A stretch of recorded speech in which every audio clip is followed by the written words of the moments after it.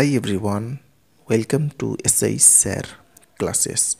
Today in this video we have to construct a triangle ABC in which AB equals to 5 centimeter, angle A equals to 60 degree and AC equals to 3 centimeter. So please watch the video till the end. So let's start the video. First of all, let us draw here the given two side. So first drawing here 3 centimeter line. So this is 3 centimeter line and drawing another 5 centimeter line. So this is 5 centimeter line. Okay. So here this one AC line and this one AB line. So this is 3 centimeter and this one 5 centimeter. Okay. Again we have to draw here the line AB equals to 5 centimeter here.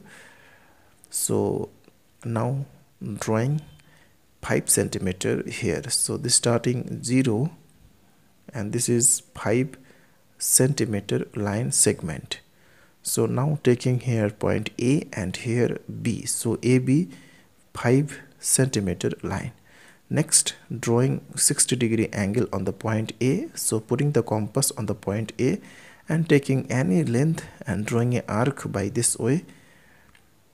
Again putting the compass here and taking same length and cut here. So now joining this line to get here a 60 degree angle. So joining this. Now checking this angle with the help of protector whether it is a 60 degree angle or not. So here this is perfectly a 60 degree angle. So angle a equals to 60 degree Next, taking the length AC equals to 3 centimeter with the help of compass. So putting the compass here and taking this length. Now putting the compass here and cut here. So now taking here point C and joining the side BC to get here the triangle ABC.